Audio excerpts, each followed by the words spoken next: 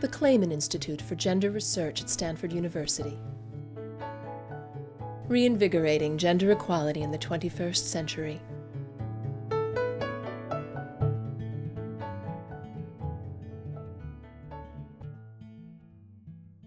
Jeremy and I did a talk called Switch Hitting, and it was about the fact that women have learned to bat on both sides. We can hit home runs in the office, and we can hit home runs at home, and we can and do that wherever we are. But men are not switch hitters yet. By and large, they can swing at work, but they're not swinging for the home team. So we wanted to talk about what it's going to take for men to become switch hitters, where they're equally powerful and equally important and equal contributors at home and at work, because that's going to be good for everybody. Jeremy's going to tell you about what it feels like inside the home. I'm going to tell you about what's happening outside the home that is forcing changes right now. Um, the answer is really simple it's money.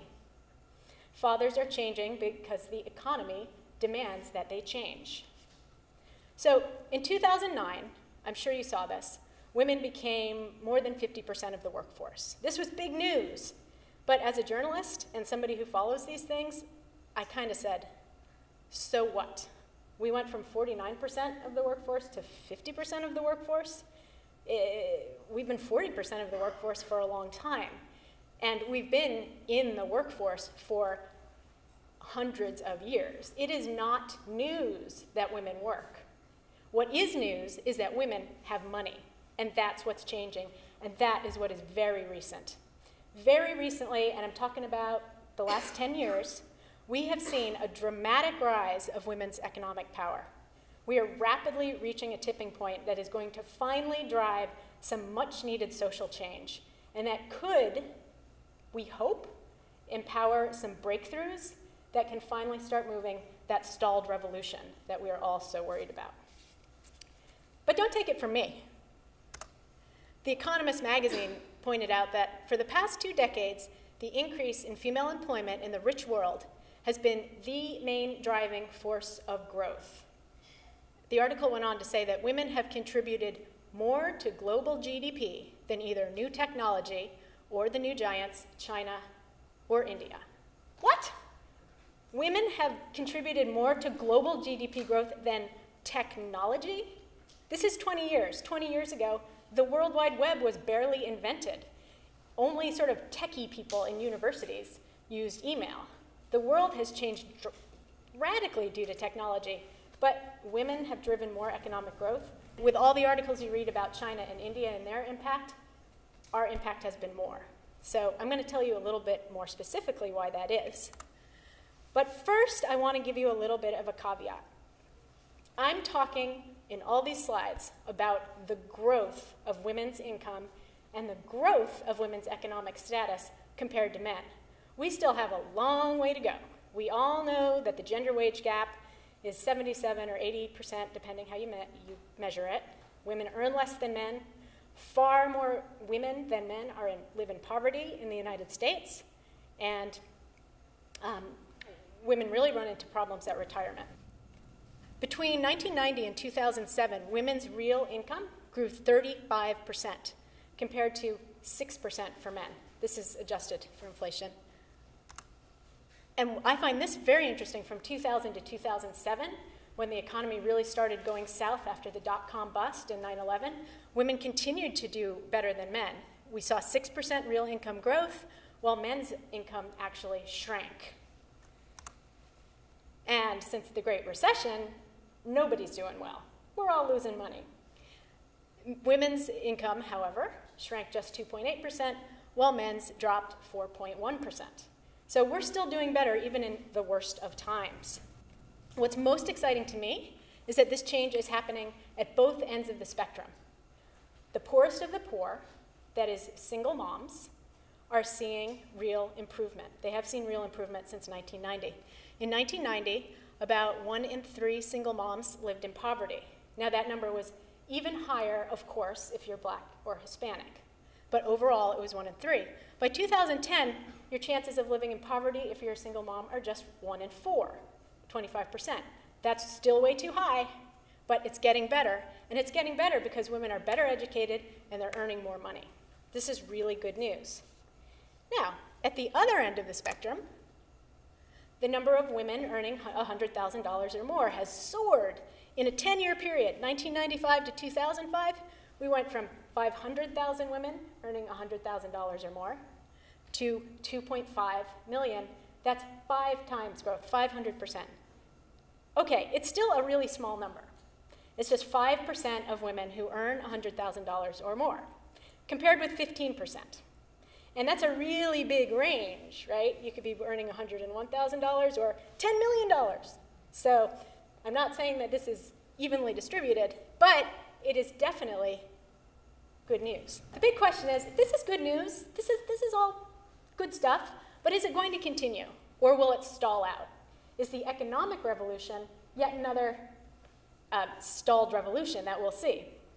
Well, my co-author Maddy and I have five reasons why we do not think that this revolution shows any sign of stopping, and they are big economic trends. The first we've already talked about. Women are more educated than men. The second is, of course, the shift to the knowledge-based economy, where physical strength is no longer at a premium. The third is the shift to the service-based economy. Many of the professions and uh, uh, employment sectors that are poised for growth are service sectors or pink professions where, with lots of women, like healthcare, where we all know manufacturing and construction are not coming back. Four, technology, cloud sourcing, virtual workplace, results-only work environments. I could talk about these for a long time, but in a nutshell, these are ways where lots of people who've never met each other around the country can work day or night and produce really good work collaborating together. And this is really good news for women we often need more flexibility. And number five is that famous war for talent. Sooner or later, the baby boomers really are going to retire. We thought it was going to happen now, but it turns out it's really not such a good time if you're planning to live off your stocks. So, um, but the war for talent basically says that into that vacuum left by baby boomers, large corporations are going to want the best talent, Increasingly, that is women. And corporations have to change if they want women to stay.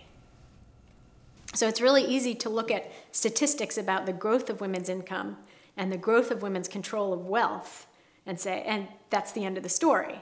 But I always ask, well, so what? This doesn't mean anything unless that translates into influence, into political influence, into social influence and to influence within corporations. But we can translate our money into power if we choose to do it.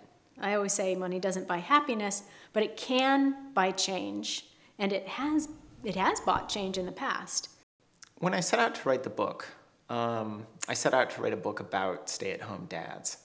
Uh, and I very quickly realized that it couldn't just be about the dads, um, that it also had to be about the moms and about women and about changing gender dynamics. Really, the book ends up being about gender, um, which was not my original purpose. I think it was easy for people to understand why women would want to get into the workforce.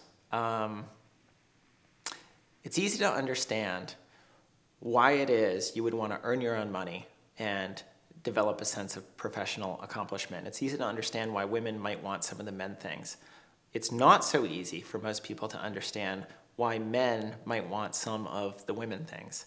Uh, and, you know, because I think that in a patriarchal society, uh, that's perceived as a step down.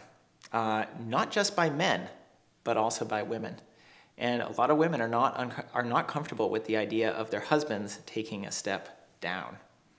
Uh, we're not in a place where we've really validated uh, men fulfilling some of those traditionally female functions. Um, and that to me is really the key to understanding why it is that we seem to be, um, why the daddy shift is stalled. The daddy shift is the expansion of fatherhood beyond pure breadwinning to include this capacity for caregiving. Um, and it's like women's movement through the workforce. Uh, that expansion, I think, has, has stalled somewhat in recent years. Uh, for example, the number of stay-at-home dads has flatlined in recent years after uh, appearing from out of nowhere and expanding really rapidly. I think that one of the biggest problems we face right now is a very high level of cognitive dissonance uh, around our experience with gender. Um, we're in, a, in, an economy where women have to work uh, and where men have to share the housework and the childcare. And yet, uh, we're still living our lives according to uh, standards that were held by our grandparents and by our great grandparents.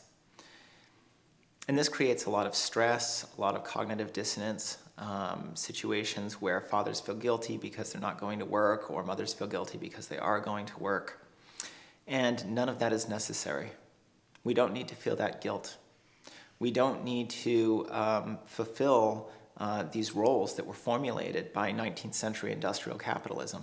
We can live a new kind of life. We can build a new kind of family. We can have happy, loving homes.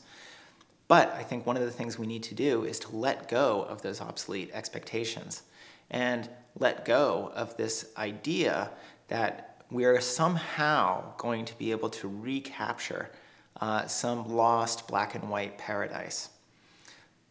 Instead, we need to look at the opportunities that have been created um, by this actually relatively scary and unstable situation that we're in. It's terrible that so many men have lost their jobs. It's terrible that we're facing so much uncertainty, and this has affected me as much as anybody. At the same time, however, we have to ask ourselves, what are we gaining through this process? Uh, men are gaining opportunities to develop a bond with your children and to develop skills at home that you would not have had an opportunity uh, to gain otherwise.